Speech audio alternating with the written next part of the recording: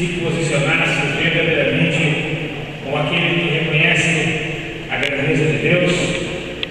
E hoje, de modo especial, nós queremos abrir o nosso trilho em honra de Nossa Senhora Aparecida e celebrando nesta primeira noite, na sequência dos três dias, a missa voltada para o trabalho, para o campo especialmente, onde muitos de vocês também já abortaram, já vivenciaram, experienciaram, simbolizando que Deus realiza as suas obras através da terra, do campo, e muitas vezes lá no campo, que faz brotar o exemplo da humildade que nós devemos ter. Essa relação terra e homem também mostra a relação homem e Deus.